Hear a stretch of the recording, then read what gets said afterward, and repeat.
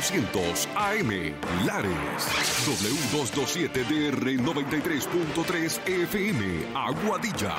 Y WZET 92.1 FM HD4 Mayagüez. Radio Grito, el medio que te lleva. Esta emisora, sus dueños y comerciantes no necesariamente se solidarizan con las expresiones vertidas en el programa a continuación. Y comenzamos con Futura con Pedro Hernández. Adelante, Pedro.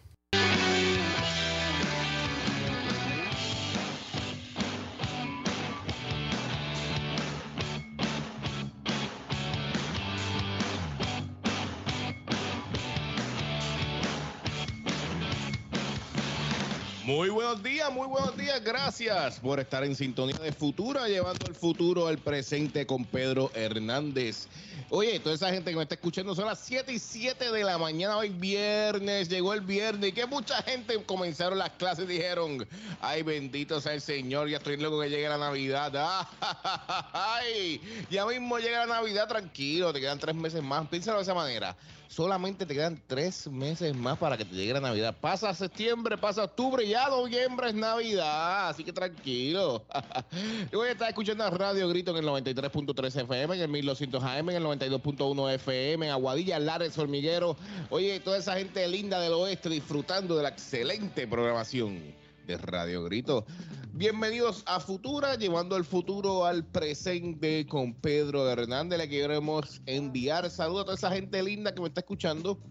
Y también que hoy vamos a estar hablando de aeronáutica y la aviación con Jimmy Rivera y, oye, Ricardo González, hablando sobre toda la tecnología nueva de aviones, hablando sobre la historia de los aviones, cómo un avión funciona simple y llanamente cómo, cómo eso funciona. Pues, toda eso, esa pregunta que tú tienes, ¿verdad? Pues te la van a contestar. Por otro lado, vamos a estar hablando también de qué va a estar sucediendo porque hay tantas plataformas de streaming, ¿verdad? Tantas plataformas. Tenemos Disney Plus, tenemos Netflix, tenemos YouTube, tenemos HBO, tenemos Apple, eh, eh, Apple la de Apple, que ahora Apple Plus, TV Plus, tenemos también. Eh, ah, tenemos la de, la de Amazon. También tenemos la de Amazon. Tenemos un montón. Tenemos Discovery Plus. Tenemos más de 15 o 20 plataformas de streaming. Y las personas dicen, ya yo estoy cansado de cada vez más estar entrando en más plataformas. Pues mira, HBO Max. Todo el mundo le gusta también HBO Max pues se acaba de hacer un, merger, ¿verdad? Va a ser una, unión con eh, Discovery Channel. Así que toda todo lo que es HBO Max ahora va a estar con el Discovery Channel. Así que todo eso va a estar. Yo, yo creo que esto es lo que estar sucediendo con todas estas plataformas. A nadie, nadie quiere estar pagando 30 dólares, 50 dólares, 100 dólares, ¿verdad? Eh, para ver diferentes plataformas. Porque hay tanto contenido dentro de estas plataformas. Un ejemplo, si tú tienes Amazon Prime, si tú tienes Netflix y tú tienes Disney Plus, yo creo que hay tanto contenido ahí para ver que, ¿qué te estás haciendo con el resto? Esa es, la esa es la pregunta que yo me hago. ¿Qué estás haciendo con el resto? Porque tienes tanto contenido en todas estas plataformas que ya, mira, cada vez más hace más difícil la competencia, más difícil. Porque, oye, eh, hay tanto y tanto para ver, tanto y tanto para ver, que al final del día nos, preguntamos, oye, ¿y qué para que yo necesito tanto, pagar tantas plataformas? Así que vemos que Netflix ahora va a entrar un poco más caro, ya está en 20, casi 20 dólares eh, la mensualidad de Netflix. Y ahora ellos van a entrar con los anuncios. Vamos a ver si que le funciona, ¿verdad? Si le funciona con los anuncios, lo que están a, lo que ellos quieren hacer. Vamos a ver si en alguna manera eh, eso le funciona. No creo, no creo que le vaya a funcionar. No creo que la gente ahora mismo esté ya está acostumbrada cuando abre Netflix no va a haber anuncios, ¿verdad? Pausas de anuncios dentro de la programación, pero ellos quieren ahora este en cierta manera, tener anuncios. Eso va a estar interesante. Vamos a ver cómo, cómo ellos lo ven para, pues, para poder salir hacia adelante, porque ahora mismo no le está yendo muy bien a Netflix. Eh, yo creo que han gastado tanto dinero y tanto dinero en esa plataforma, en producir buena programación, en todo eso, que oye, se complica la cosa a uno, ¿verdad? Así que hay que ver cómo entonces ellos van a responder a todo este problema que están teniendo. Oye, han dejado de ir mucha gente. Lo mismo HBO ha dejado de ir mucha gente. Y cada vez más van a tener más problemas. Así que, eh, para ti, para mí, ¿qué significa eso? Oye, que tienes que pensarlo bien. Si a Sanily le gusta Netflix y a mi amigo Emanuel le gusta Disney Plus, se tienen que decidir cuál van a pagar. se tienen que decidir, pues mira, uno o el otro, porque oye, estar pagando Netflix, Disney Plus, Amazon Prime, oye, vamos a gastar chavo con pantalones, ¿verdad? Pues mira, el punto de ahorrar dinero y decir, pues si yo no voy a usar tanto estas plataformas, pues no la voy a ver, o simplemente si hay algo que yo quiero ver dentro de ella, que eso es lo que mucha gente hace, dice, pues mira, yo voy a pagar un mes y después del mes no me interesa más verlo. Eso es lo que está sucediendo con todo eso. Así que si tú estás escuchando y estás disfrutando de Radio Grito, el medio que te lleva en el 93.3 FM en Aguadilla, en el 1200 AM en Lares y el 92.1 FM HD4 en el área de Hormigueros, pues mira, vamos a disfrutar de esta excelente programación y vamos a ir a una pausa comercial. Cuando retornemos de la pausa comercial, vamos a ir hablando de lo que ha pasado con Starlink y la FCC. Ay, Dios mío, Starlink. Cada vez más Elon Musk está hablando de qué va a hacer. Bueno, vamos a una pausa y retornamos aquí a Futura, llevando el futuro al presente. Recuerda que me puedes llamar 897-1200 o al 897-3889 para pedirme la buena música que solamente mira a ti te gusta. Somos Radio Grito. Tu verdadera cooperativa, Agua Coop, con nuevas y renovadas facilidades, comprometidos con nuestro pueblo por los pasados 73 años. La cooperativa de Aguadilla ha desarrollado préstamos comerciales, préstamos personales, para compra de auto, tarjeta de crédito y más. Visítanos para que conozcas tu nueva sucursal en la Avenida San Carlos, esquina Comercio en Aguadilla. Para más información, accede a aguacoop.com o al 787-891-1755. Aguaco, tu verdadera cooperativa de Aguadilla, te espera.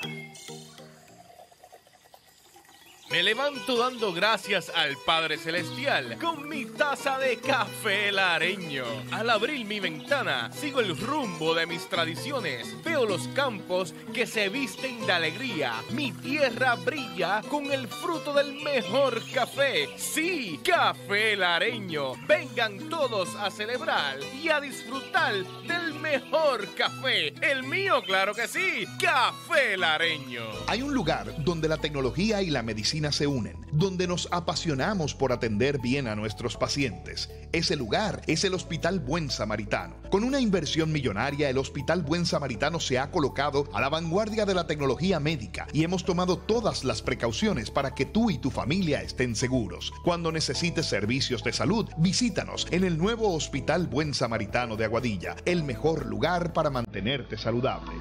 Todo es más fácil con Farmacia Lumen Méndez. Aquí encuentras todo en su lugar. Vacunas disponibles sin receta médica. Influenza, pulmonía y tétano. Venta de pruebas caseras para detectar el virus del COVID y fáciles de usar. Tus recetas están en las mejores manos y tus medicamentos OTC te los llevamos a la puerta de tu casa. Con horario extendido de lunes a viernes de 7 y 45 de la mañana a 8 de la noche y sábados de 8 de la mañana a 6 de la tarde. Farmacia Lumen Méndez, 787-897-2050. Siempre cerca de ti. Mira que están haciendo unas calores fuertes, pero yo trabajo ya tempranito y tranquilito en mi taller porque el centro de piezas Tony Huiz me trae las piezas a mi casa. Así que estrellita, váyase a descansar que yo me voy en mi guaguita paseal.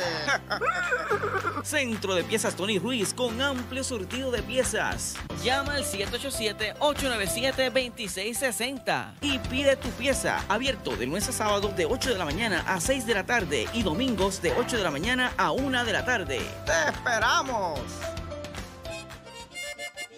Prepárate para la gran inauguración de Comercial El Pare, Ferretería, Casa Agrícola y Cash and Carry en el cruce del Lao Antiguo Pet House, debajo del Salón Imperial. En Comercial El Pare estamos abiertos los 7 días de la semana de 6 y 30 de la mañana a 7 de la noche. Ven y para aquí. Seguro encontrarás todo lo que buscas en efectos de ferretería en general, casa agrícola y Cash and Carry. Amplio, cómodo y fresco. Local muy conveniente para que te sientas en familia y encuentres todo lo que necesitas. Y lo mejor, ese trato de amigo que tanto te gusta. Solo te lo da José González, su dueño, y todo su personal. Comercial El Pare. Ferretería, Casa Agrícola y Cash and Carry. En el cruce de Lao, antiguo Pet House. Debajo del Salón Imperial. Llama ahora al 787-453-7153. Si estás pasando por momentos muy difíciles, por tener tus seres queridos muy enfermos, busca ayuda. Infórmate. Hospicio Emanuel Inc. es una agencia que brinda servicios de salud en el hogar del paciente. Estos servicios son cubiertos a través del programa de Medicare. ¿Quién cualifica para estos servicios? Una persona cuyo médico haya diagnosticado una condición terminal. En Hospicio Emanuel le ofrecemos a nuestros pacientes servicios médicos, enfermeras profesionales, trabajador social, asesor religioso, terapia física, terapia ocupacional, terapia del habla, asistente de salud, ama de llave, nutrición no esperes más, permítenos ayudarte. No estás solo, nos tienes a nosotros. Si deseas más información de Hospicio Manuel, puedes visitarnos en la carretera 129, intersección 415, Lares, Puerto Rico, o llamar al 787-897-7040. 787-897-0503. Hospicio Emanuel. ¿Eres dueño de un negocio y te preocupa el costo de la energía? En Pura Energía tenemos la solución a tu problema. Llámanos al 787-245-8660. Tenemos alternativas que pueden eliminar o abaratar el costo de energía eléctrica en tu negocio. Y en Pura Energía somos profesionales expertos en soluciones energéticas para negocios. Llámanos 787-245-8660 o síguenos en las redes sociales como Pura Energía PR. Estás escuchando Radio Grito, WGDL 1200 AM, Lares, W227DR 93.3 FM, Aguadilla y WZET 92.1 FM HD4, Mayagüez. Radio Grito, el medio que te lleva.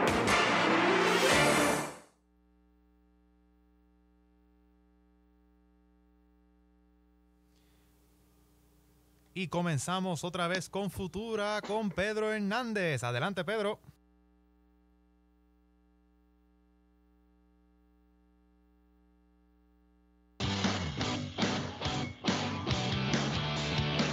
Bueno, mi gente, gracias por estar en sintonía de Futura, llevando el futuro al presente con Pedro Hernández. Gracias por estar en sintonía en el 1200 AM en Lares, esa gente linda de Lares, se oye el área central de la isla, Juntas, Utuado, Arecibo, esa gente linda que disfruta de la excelente programación de Radio Grito. En el área oeste, oye, en Aguadilla, en el 93.3 FM y en el 92.1 FM HD4, la Agua de Mayagüez, esa gente linda que va para el colegio ahora mismo, va para el colegio a trabajar, a estudiar, ay bendito sea el Señor.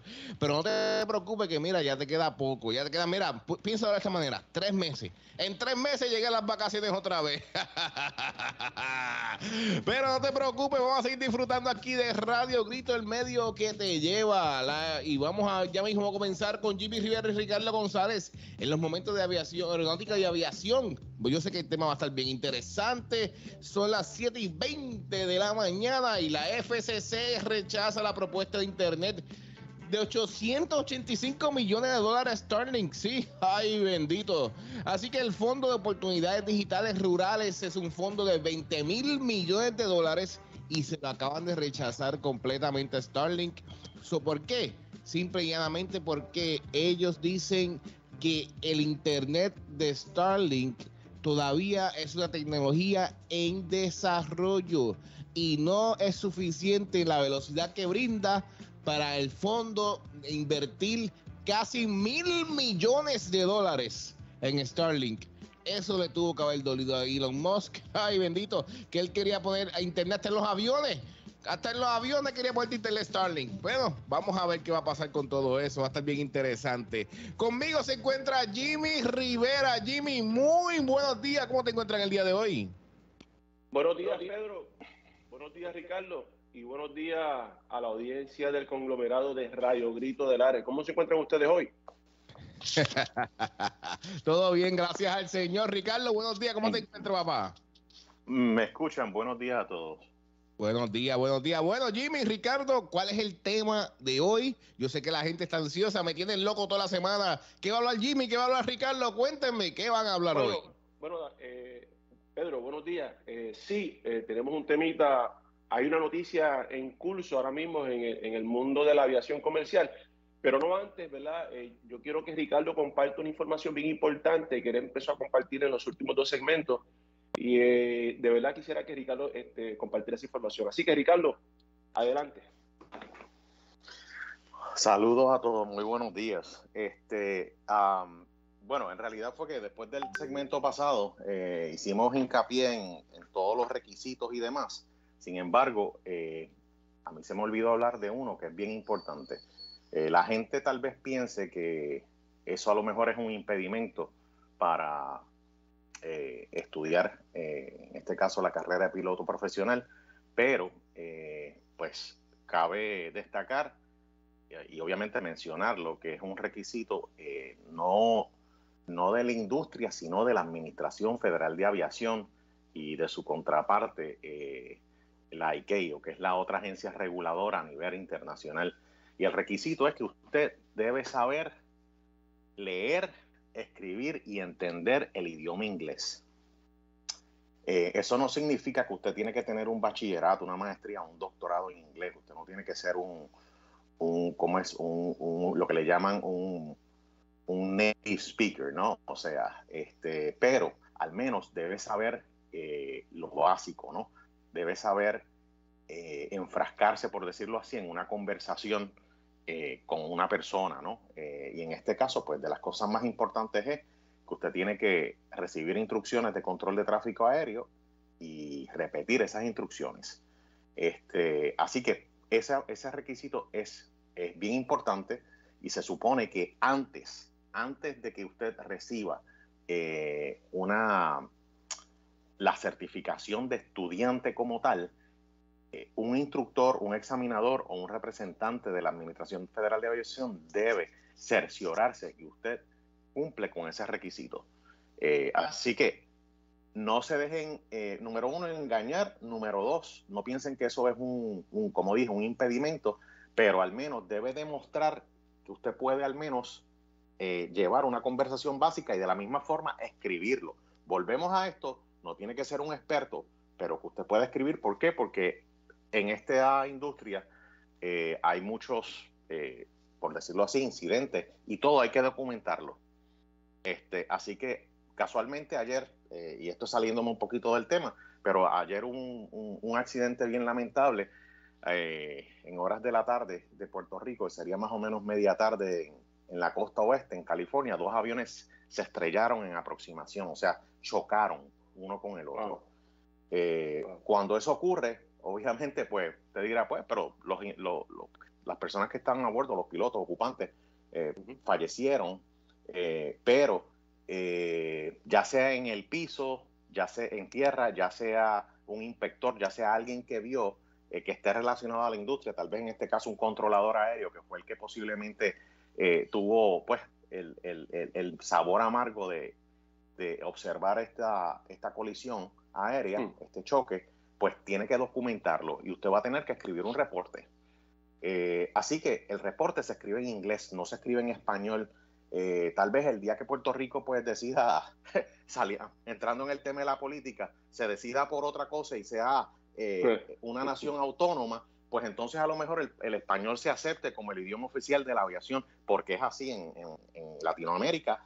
México todo se hace en español, Venezuela, República Dominicana, pero ya una vez usted entra en aguas de la Administración Federal de Aviación, pues eh, este requisito del que hablé eh, tiene, tiene validez e importancia y es primordial. Así Y- que eso era lo que quería comentar.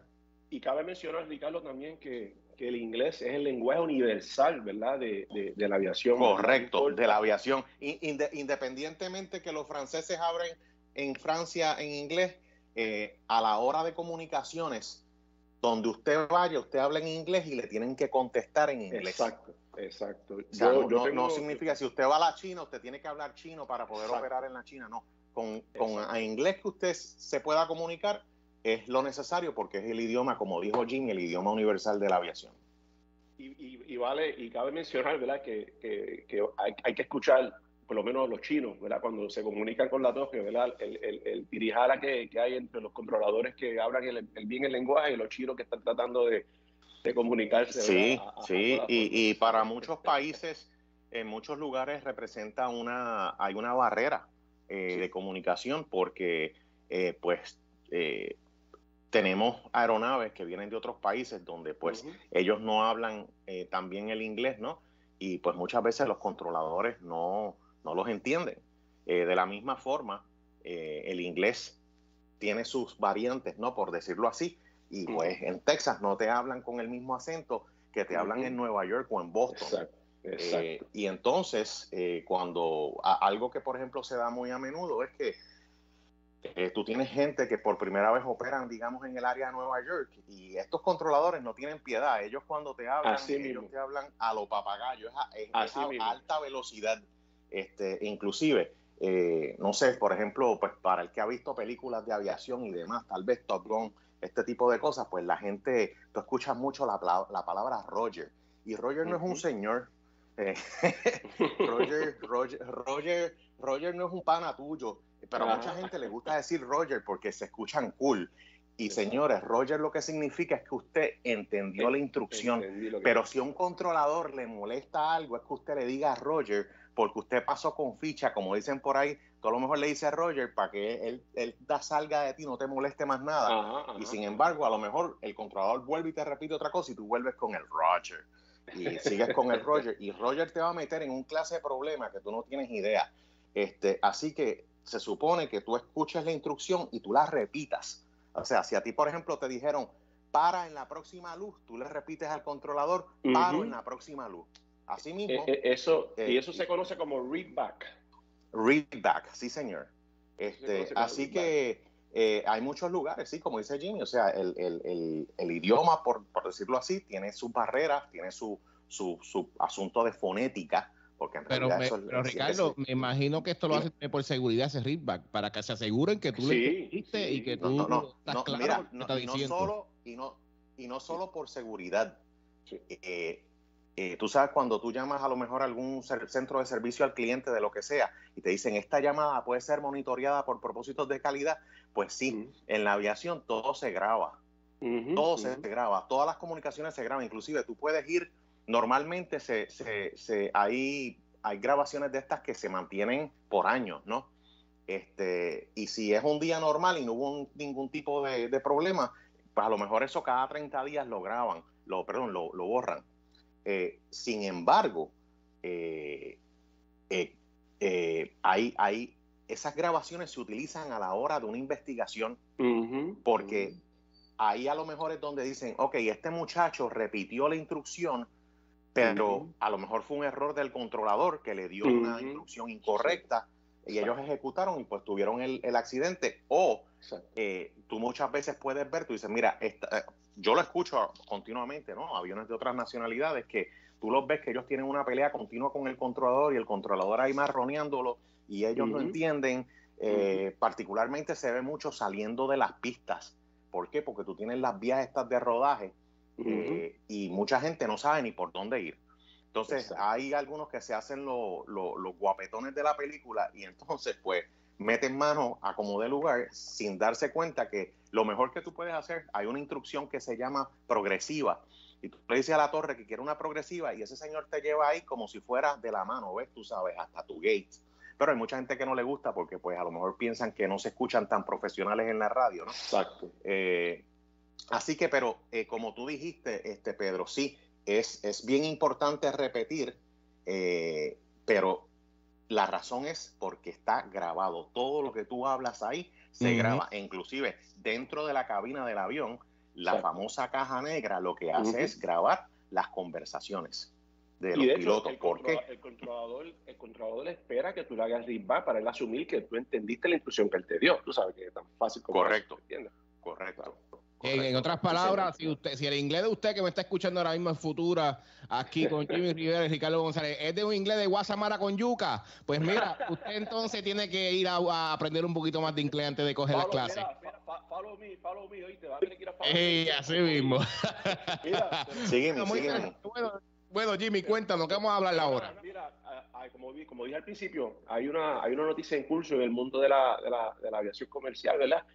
Y yo quisiera, queremos, ¿verdad? A, a compartir alrededor de eso, pero ah, no antes, quiero establecer una base rapidito, ¿verdad? Para que el público que nos escucha pueda entender. Am, este, ¿Cuántos de ustedes, ¿verdad? Los que me escuchan, se acuerdan del famoso Concorde, del avión supersónico, ¿verdad? Eh, el avión que cuando llegó su momento rompió los récords y cambió la forma como la aviación se iba a desempeñar, ¿verdad? Este, pues sí, si se acuerdan del Concorde, pues el Concorde fue una, una maravilla en su tiempo. Antes del Concorde, ¿verdad? Eh, Ese era el avión que todo el mundo sabía que era, iba bien rápido de, Sí, señor. Estados Unidos en cinco minutos estaba allí, no en cinco Sí, minutos, pero señor. Sí, señor. Sí, señor. Así mismo es. Y entonces, ¿qué pasa? Que, que antes del Concorde, ¿verdad? Eh, usualmente los vuelos transatlánticos, pues los, los- los tiempos de, de- de traslado, de vuelo, pues, eran tiempos extensos, ¿verdad? Un tiempo de entre, por ejemplo, puedo decirte entre Nueva York y, y París o Nueva York Inglaterra, pues eran siete horas, ocho horas y media, ¿verdad? Dependiendo de los vientos, los tiempos, etcétera, etcétera.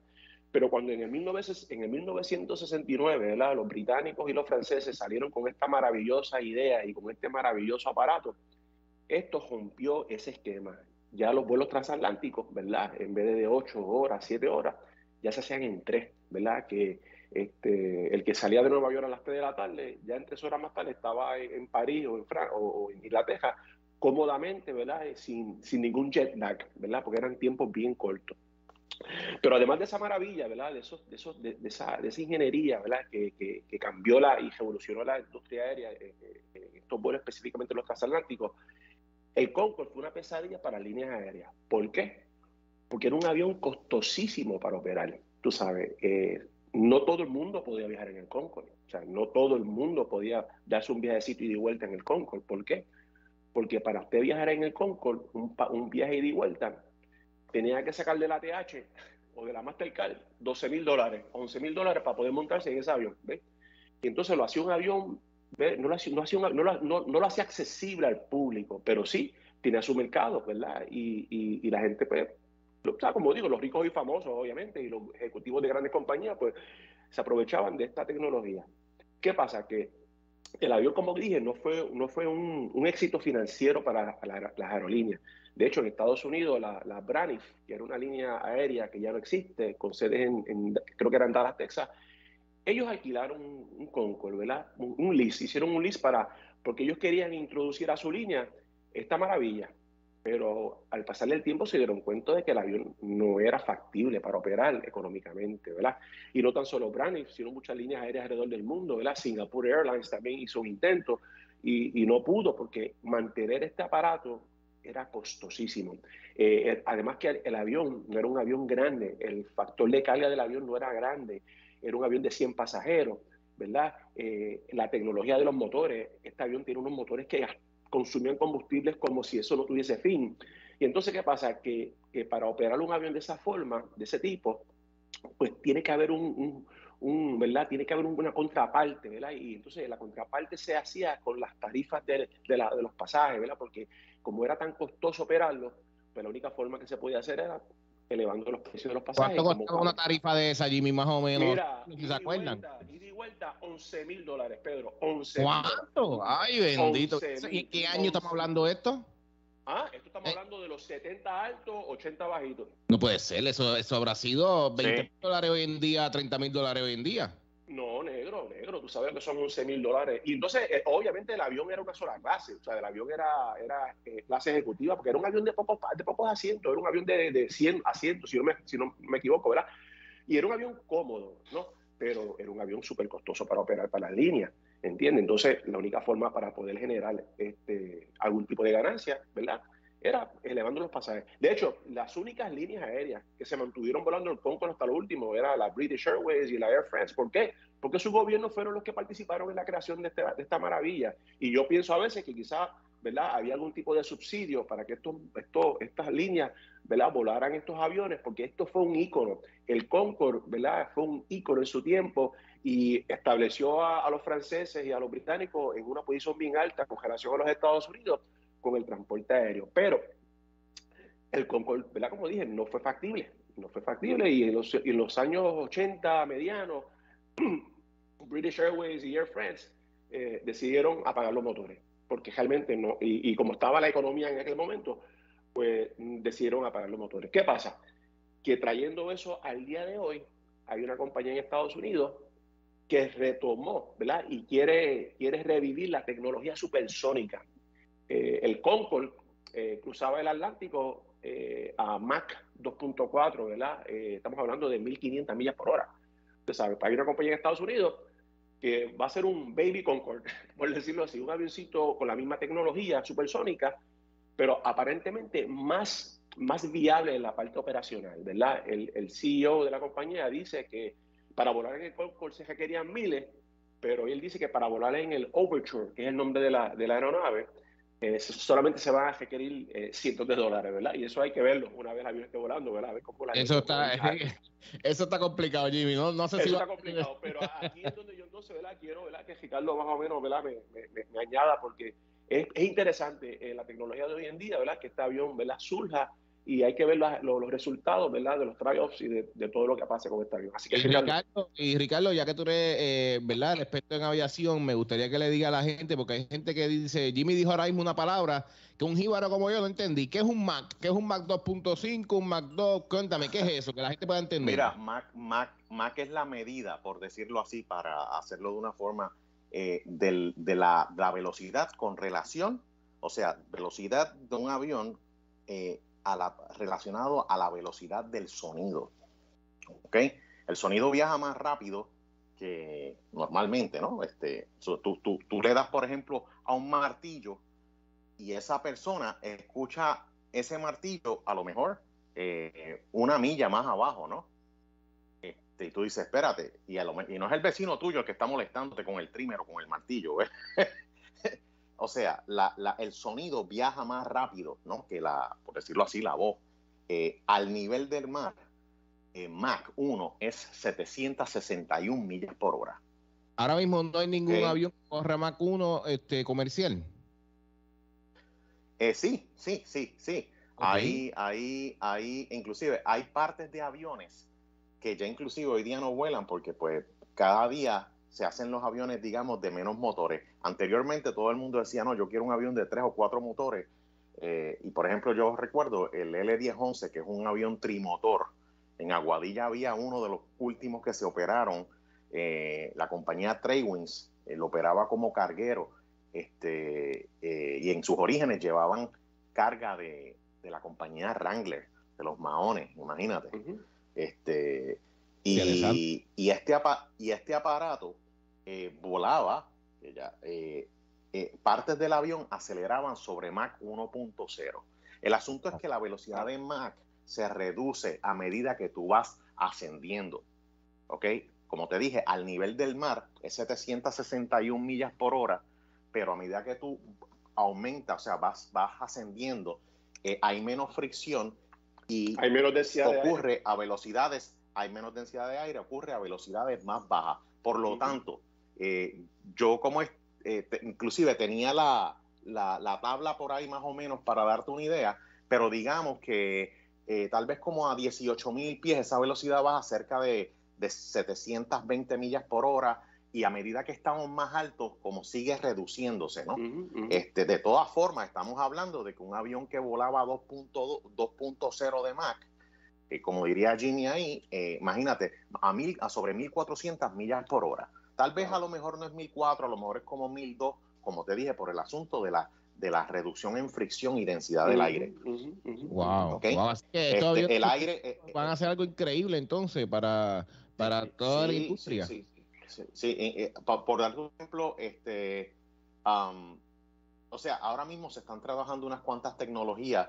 La semana pasada yo hablé del famoso programa Hermeus, este, que este es militar como tal. Ellos están diseñando los primeros drones, pero eventualmente se espera que va a ser un avión con capacidad de 20 pasajeros. No es mucha gente, porque estamos hablando de que esto tiene que ser un diseño bien limpio para que pueda eh, alcanzar esas velocidades subsónicas. En el caso de Hermeus, estamos hablando de que ellos planifican alcanzar Mach 5, imagínate. Wow. Este, estamos hablando de hipersónico. Eh, sí, no, no, no, exacto. Esto es hipersónico. Aquí estamos hablando de que, eh, o sea, tú, tú, bueno, como estaba viendo, de Estados Unidos a Sao Paulo, Brasil, en una hora 45 minutos. Un vuelo que toma casi 10 horas en aerolínea. Moviéndote a 5.000 millas por hora, tú sabes. llega, llega rapidito. exacto. Ponlo, imagínate, el, el, avión de aerolínea promedio básicamente cubre entre 7 millas y media a 8 millas por minuto. Así que 600, 700 millas por hora. Y, y, estamos hablando de que estamos la velocidad crucero normal Estamos hablando de que ah, 500, 530 en average, millas por hora, ¿no? millas por hora. Este, así que imagínense esto, sin, eh, eh, ¿cómo es? Digamos unas 5 o 6 veces más rápido. O sea, eh, es, interesante, ¿no? Y, nadie deja de, nadie, digo, con esta tecnología, aparentemente este, este avión ya para el 29 va a estar volando, so, vamos a ver si Southwest se inclina, ¿verdad? Y, y tenemos en los controles de uno. No, no, claro. Bueno, yo, yo no voy a hacer muchos comentarios porque recuerda que esto también es grabado y lo escuchan en todas partes, pero este... Mira, en las líneas aéreas buscan la economía. Este, yo no creo que ningún programa de estos va a ser económico, ¿no? este, eh, como dice aquí eh, en, el, en el Overture, eh, mira, más o menos estamos viendo a 1.7 la velocidad del sonido, son 1300 millas por hora, ¿no? Que es lo que ellos esperan alcanzar.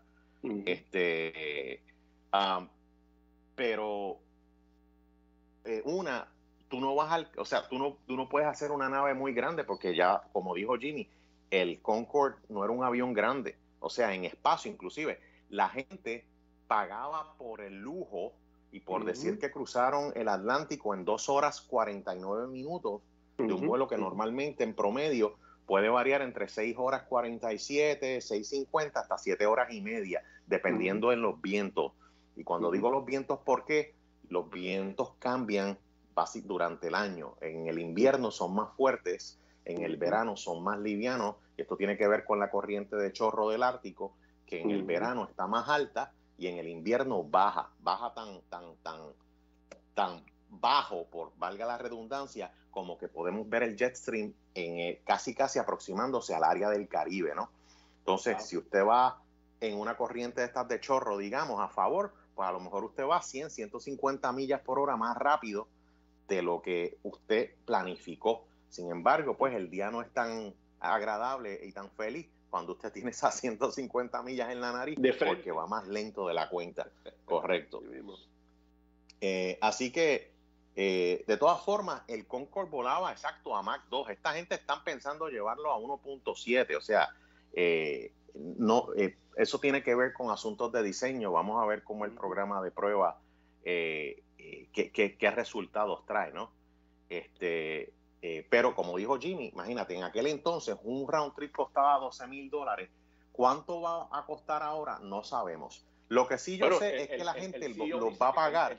El, CEO garantiza que van a ser cientos, que no van a ser miles, tú sabes, que él dice que esto se va a ir en cientos de dólares, pero verá, todo depende. Sí, pero imagínate, cuando entonces le metan la chulería de, que todo va a ser este eh, first class, digamos, o business, Este, una clase business, pues eh, la gente, como te dije, esto es como, por ejemplo, a- va- va- vamos a, a desviarnos un poquito. Eh, Citation, que es una, una línea de aviones, eh, una fábrica como tal, diseñó el primer avión civil, que era el avión más rápido después del Concorde, el Citation 10, ¿no? Y mucha gente, el X, exacto, y muchas compañías lo compraron, ¿por qué? Por decir, mi hermano, yo tengo el avión más rápido, yo llego primero que tú a ese juego de pelota, ¿ves? Mm. Este, ¿verdad? Sí, este, pero, pero, eh, pues, a lo mejor tú llegas más rápido, pero hay mucha gente que prefiere tal vez tener el rango, la autonomía para Exacto. llegar de punto A a punto B. Y en lo que a lo mejor el Citation 10 llega y tiene que bajar a tomar combustible, tú vas en tu Toyotita por ahí a punto 77 y llegas primero al juego de pelota. Y llegaste primero, así mismo, exactamente. Así mismo. Exacto. Así que eh, todo esto es relativo, ¿no? Porque um, eh, eh, eh, esto va a ser ahora como que la carrera por alcanzar la, ¿cómo es? La, la, la- el vuelo subsónico y eventualmente hipersónico, ¿no? Este, Pero yo Pero entiendo que el camino es largo. Pero esto también, también Ricardo, ¿verdad? Que, acuérdate, la, se trata de, de la innovación. Las líneas aéreas tienen que buscar la forma de atraer pasajeros, de buscar negocio, ¿me entiendes? Claro. El avioncito puede ser, se puede convertir en un sueño espectacular, como también se puede convertir en una pesadilla para las líneas aéreas, ¿me entiendes? Totalmente. O sea, to- todo depende cómo, Totalmente. ¿verdad? Eh, cómo el avión, ¿verdad? Cuando una vez empieza a volar y, y, y vengan los trials, cómo el avión reaccione, ¿verdad? Porque Mira, el papel, El, papel el- está bien. mira, el, el Washington Post eh, emitió un anuncio a raíz de lo de American, ¿no? De la, de, de la, de la, la oferta esta que hizo American de 30 unidades de estas, ¿no? Y dice, un montón. dice, dice, una de las barreras, una de las barreras podría ser el costo de combustible derivado de materia orgánica. Overture planifica volar en combustibles verdes, en Green and Fuel, el cual es de dos a cinco veces más costoso que los combustibles fósiles. Wow, ¿Ok? Ya, eh. Aviones supersónicos, aviones supersónicos pueden quemar. Estamos hablando de cuando digo quemar es consumir porque el combustible se quema, ¿no? De siete a nueve veces más comparado con aviones subsónicos. Así Wow, que wow, wow. Si él va a vender esos pasajes por cientos menos, yo, yo le tengo una oferta, de verdad. Va a tener que, ¿cómo es? No sé, puede que a lo mejor le ofrezca una cajita de cornflakes a la gente, este, eh, con una cuartita de leche, exacto, para el desayuno, porque en realidad estamos hablando de que, como tú dijiste, son proyectos que pueden ser un exitazo, como puede que sean un dolor de cabeza. Sí, y, también... Y, y es algo que, Ricardo, que yo estaba pensando, porque yo lo veo de la parte de mercadeo, ¿sabes? Porque ese es mi expertise.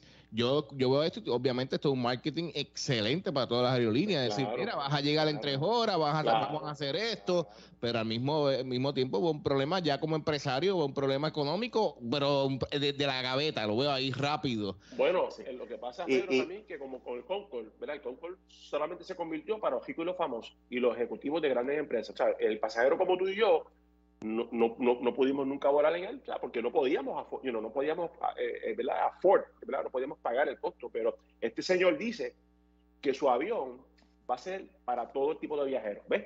Y eso es lo que hay que esperar una vez el avión salga, Complicado, vuele y la complicado. línea dec- decida No. configurarlo, ¿verdad? Etcétera, etcétera. Pero No, y, lo- y los números que Ricardo establece ahí son números básicos, ¿sabes? Estamos hablando de que tú me vas a decir a mí que tú vas a gastar más, más en petróleo, más Exacto, en gasolina. Para llegar al lugar, pues mira, vas a pagar más dinero. Eso, eso es y, esa básico. puede, y esa puede ser la pesadilla de ese avión, ¿me entiendes? El, el- el combustible, de hecho, el combustible es la pesadilla de la línea aérea porque es lo más que se gasta, es lo más que consumen, ¿verdad? Es, lo- es el, el ticket más alto que tienen las líneas aéreas en este momento. Exacto, Ahí es- ahí es- Ah, sí. No, ahí es donde Southwest este, ha hecho su negocio.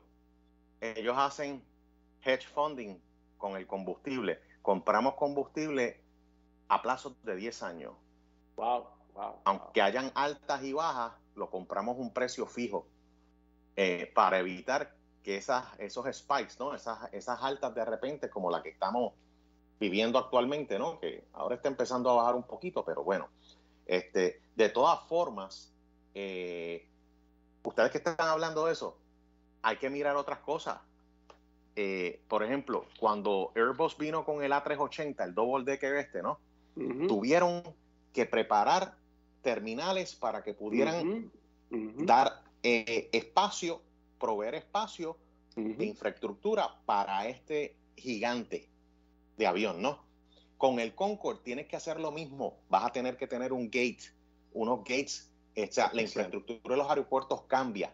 O sea, no todos los aeropuertos van a poder acomodar ese tipo de avión. Por lo general, estos son aviones. Si son hipersónicos, quiere decir que cuando aterricen, aterrizan a velocidades bastante altas, ¿no? Este, y por, lo tanto, no puedes. Exacto. No, no puedes venir a Mayagüez, ¿ves? Tú sabes. Tienes que ir a Guadilla. ¿Ok? Exacto. Tienes que aterrizar en Aguadilla. ¿Qué pasa con Mayagüez? ¿Qué pasa con Mayagüez? ¿Qué pasa? Vamos. mira, mira, nacido y criado en Mayagüez, pero hay que ver la realidad, ¿entiendes? este, entonces, ¿qué pasa? Eh, o sea, hay un, una serie de detalles eh, relacionados a costos, infraestructura y demás, que, como te digo, esto puede ser un sueño, pero puede ser también una pesadilla. Mira, eh, así que, diga usted. En el, en el caso tuyo, el Boeing 737 MAX que tú vuelas o el 737-8 que tú vuelas. Yo voy al garaje de gasolina, le echo, le echo 50 dólares a mi guagua.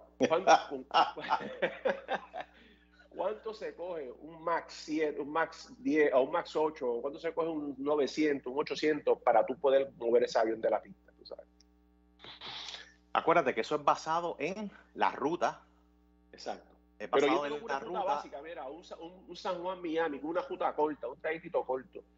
Que, que Dos, tres horas, en el aire. ¿Cuánto me cuestan tres horas en el aire? mira, mira, vamos a verlo así de esta forma. Vamos a hacerlo a un número para que la gente lo pueda entender. 18 mil libras de combustible, ¿ok?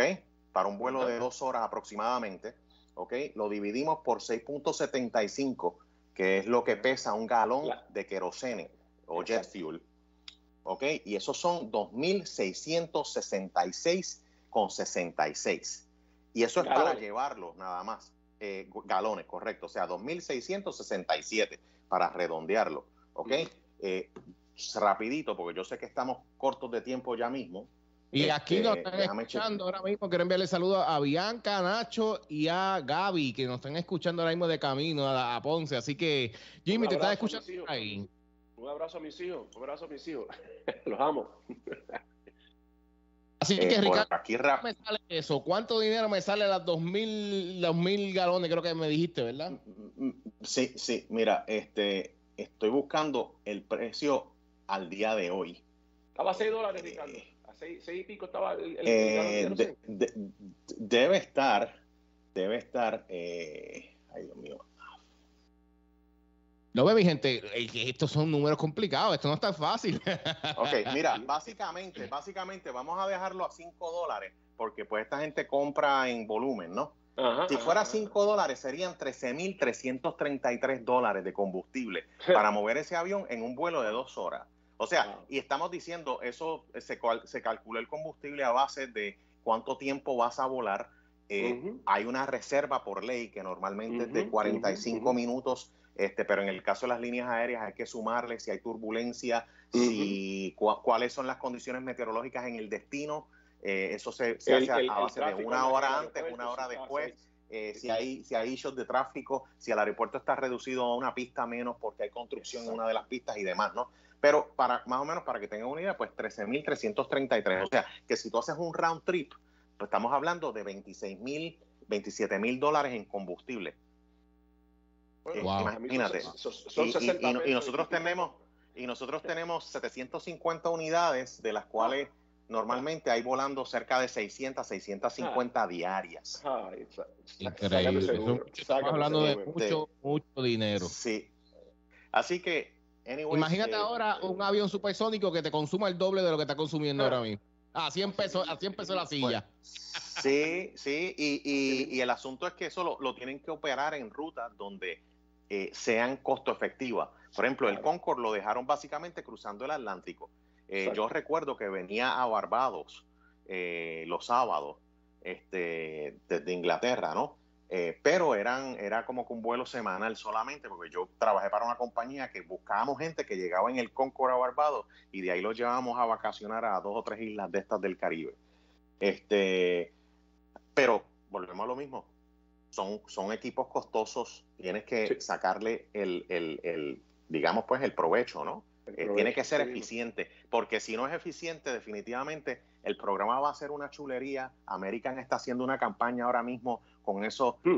eh, Claro, bien mercadeo, impactante. mercadeo. Y, y, eh, exacto, United fue el primero que lo ofreció. Lo que pasa es que United no dijo cuántos iba a comprar. American aparentemente desembolsó y, y vamos a poner unas opciones para 30 unidades de estas. Así Eh, mismo. pero Mucho, hay que ver mucho. las altas y las bajas de la economía, que eso es algo continuo, ¿no? Y entonces vamos a ver qué pasa en los próximos cinco años. Va- van a pasar dos cosas. O American a lo mejor dice, mira, negro, yo no tengo tanto dinero para esto. Así que yo creo que van a seguir montados en el Airbus, en el, en el 777, eh, en los Y aviones que y- y tenemos, el porque, 737. y en el 737, en el Toyotita, porque el Toyota. eh, no podemos no podemos hacer de otra. Y- Este, y pero para la- la- todo el mundo que nos está escuchando, nosotros los meros mortales nos montaremos todavía en el 737 por mucho tiempo, ¿verdad? Porque pues vamos a ver, no, eh, con lo que hemos hablado hoy, no creo que vaya a costar tan barato a 100 pesos un, un asiento en un supersónico. Así mismo, No, así no, mismo es, definitivamente, definitivamente no, no lo va a hacer. Este, y, y como, como mencioné ahorita con el ejemplo este del, del Citation 10, va a haber, la gente lo va a pagar. La gente lo va a pagar, o sea, eh, la gente lo va a pagar por la chulería de que, pues, yo tengo el dinero y me voy a montar porque me quiero cruzar el, el Atlántico en una hora, ¿no? Este, pero ese, ese, como llaman, ese affair, ¿cuánto tiempo va a durar? Pues no sabemos. Hmm. Al principio va a ser un boom, va a ser lo que está in, va a ser lo que todas las estrellas y, y muchas personas, pues, con la solvencia económica van a querer hacer, pero eh, ¿cuánto tiempo va a durar? Pues no sabemos. Y lo otro es, esto está en pañales, señores. Esto Exacto. hay que, hay que llevarlo al túnel de viento, Sí hay que probarlo Esto- en distintos regímenes Exacto, de vuelo. Exacto. Eh, y entonces, lo último, papel Y, exacto, y lo último es, necesita la bendición de la Administración Federal de Aviación porque originalmente esto es lo que se llama un avión experimental, que está en la fase de experimento y una vez consiga la certificación, entonces dicen ellos, ok, ahora tú lo puedes producir en una línea eh, de ensamblaje. O sea que puede tomar años, puede tomar años desde el momento que el avión es Yo, yo inclusive, eso, eso, eso que veo que dicen que para el 2029 van a estar volándolo, mm, yo no estoy Sí. muy seguro de eso. Así Eh, eh, yo entiendo que la tecnología está, pero está para a nivel militar, ¿no? Este, a nivel civil, yo no creo que están preparados para eso, pero bienvenido sea si están ready Sí, para el no, si- 2029. Si, ve- si vemos, Ricardo, si vemos que una compañía como American invierte en 30 aviones de esto, que estamos hablando, no estamos hablando de tres pesos, mi gente, estamos hablando de Sí. mucho, mucho dinero. millones, millones, O sea, millones, así que si ellos invierten tanto dinero, me imagino que ellos deben tener un insight diciendo, pues mira, hay una posibilidad Sí. que tú estés en el aire. Defin- en- defi- de- definitivamente, pero una última cosita, y Jimmy eh, estuvo ahí. Eh, cuando Jimmy estaba trabajando con FedEx, FedEx puso opciones para comprar el A380, el double decker y hacerle un carguero. Eso era para el año 2005. Y Exacto. cuando el programa se comenzó a retrasar, dijeron, no, esto no es con nosotros, Ujú. devuelven De hecho, de dinero". hecho, de hecho, de hecho, FedEx en Memphis, en el hub principal, hicieron cambios, ¿verdad? Hicieron, hicieron, hicieron Sí. cambios en la pista, hicieron cambios, pero el programa se retrasó tanto y tanto que Federal decidió cancelar y, y nunca llegó a Me, me- me- quedo con lo que hay. Sigo trayendo mi- mis aviones cargueros ya 777, 76 y demás Sí, cosas, pero no, no me voy a, a enfocar en este programa porque el programa se retrasó. Inclusive, ese A380 que fue tan innovador y todavía está volando, eh, tienen planes de eventualmente eliminarlo. ¿Por qué? Porque es un avión demasiado costoso operarlo. O sea, ¿quiénes lo operan? Eh, Qatar, Emiratos, que toda esa gente en el patio de la casa tiene un pozo petrolero, ¿no? este, Así mismo es. eh, ese, eh, sí, hasta el pejo, la cotoja, son Sí. petroleros. Aquí todo el mundo tiene. Oye, y ustedes saben que está retrasado este programa porque ya se acabó. Ya estamos a. ya está, ya son las 8 en punto, en punto las 8. Tenemos otros compromisos en la emisora de radio, pero Jimmy y Ricardo, gracias por sacarle su tiempo. Sé que son dos personas muy ocupadas y que sacan de su tiempo para este programa. Este, Eh, la semana que viene, mi gente, no se puede perder, Jimmy. Vamos a estar tocando un tema muy interesante. Así que ustedes, todos los viernes, momentos de aeronáutica y la aviación con Jimmy Rivera y Ricardo González. Jimmy, unas últimas palabras en unos 10 segunditos. Adelante. Bueno, Pedro, este, la, aviación sigue evolucionando, ¿verdad? Y para cosas buenas y para cosas malas. Vamos a ver cómo esto genera, ¿verdad? Con, este diseñito nuevo. esperemos que sea para bien, de verdad que sí. Así mismo. Esperemos que podamos tener la oportunidad, tú, yo, Ricardo, de poder montarnos en un avión supersónico. Así que estamos en esa expectativa. No, nos cuesta nada soñar. Ricardo, adelante. No, muchachos, no, gracias siempre por la oportunidad. Este, un tema bien interesante. Eh, como les dije, está apenas comenzando. El camino es largo, pero yo entiendo que pues al menos de una forma u otra, malo o bueno, va a traer buenos resultados y va a abrir otras puertas para otras tecnologías. Así que eso es lo importante. Así mismo es. Bueno, mi gente, Estuvieron escuchando momentos de la aeronáutica y la aviación con Jimmy Rivera, con Ricardo González. Los dos, oye, eh, eh, fanáticos lo viven verdaderamente, le encanta la aviación, experto en la aviación. Oye, y verdaderamente su profesión es la aviación con Ricardo y Jimmy. Eh, yo digo, Jimmy, tú eres piloto, pero piloto de, sueños, porque verdaderamente Jimmy sabe de todo. Lo único que le falta es montarse un avión y volar y más nada, porque verdaderamente el hombre sabe de todo lo que tiene que ver con aviones. Así bueno, lo, lo hizo en un momento, pero ya tú sabes eh, así mismo es, así mismo es. Bueno, mi gente, gracias por estar en sintonía. Mira, de Futura. Llevando el futuro al presente con Pedro Hernández en el 92.1 FM HD4, 93.3 FM y 1200 AM. Nos vemos en la próxima. Esta emisora, sus dueños y comerciantes no necesariamente se solidarizan con las expresiones vertidas en el pasado programa. Estás escuchando Radio Grito